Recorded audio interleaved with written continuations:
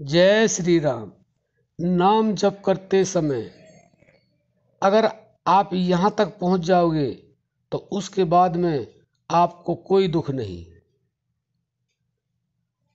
भक्तों, बात बहुत छोटी सी है, लेकिन सर्वोत्तम है।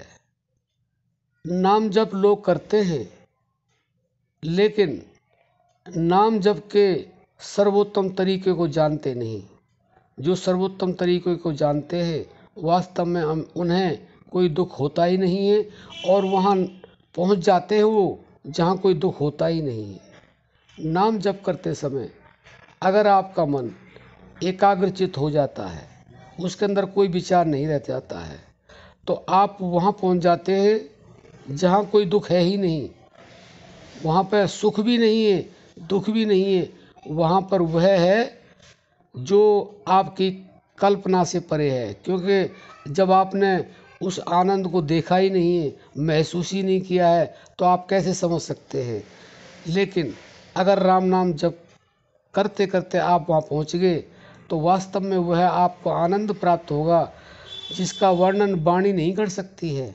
तो इसलिए आप नाम जब करते समय यह ध्यान करें कि आपका मन कितने विचार ले रहा है। किस तरह के विचार ले रहा है? और विचार अच्छे हों या बुरे हों, उससे कोई मतलब नहीं। विचार तो अच्छे भी विचार हैं और बुरे भी हैं। बुरे विचार आपको पतन की तरफ़ ले जाते हैं और अच्छे विचार आपको उत्थान की तरफ़ ले जाते हैं। तो इसलिए दोनों विचारों को छोड़ देना ही नाम जप कहलाता है और वह वो स्थिति है जहाँ दुख और सुख का लवलेश मात्र भी नहीं है वहाँ केवल आनंद ही आनंद है। और आनंद की परिभाषा और कुछ नहीं है, सिर्फ़ इतनी बता जा सकती है कि आनंद ही आनंद है, उसको अनुभव किया जाता है। वहाँ पे कोई दुख नहीं रहता है, वहाँ पे कोई क्लेश नहीं रहता है, वहाँ पे कोई अशांति नहीं होती है, वहाँ पे पूर्ण शांति होती है। तो भक्तों, आशा करते हैं, आप इस तरह से नाम जप करेंगे तो आपको दुख होगा ही नहीं और आनंद ही आनंद होगा। और सदा के लिए होगा।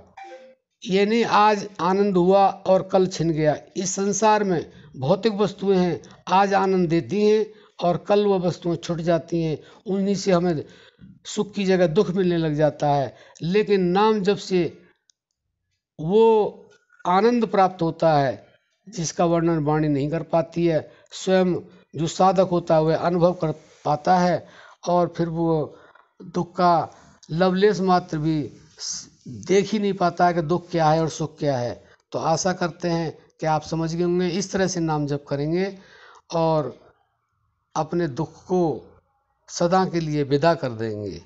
अब हम अपनी वाणी को विश्राम देते हैं। जय श्री राम।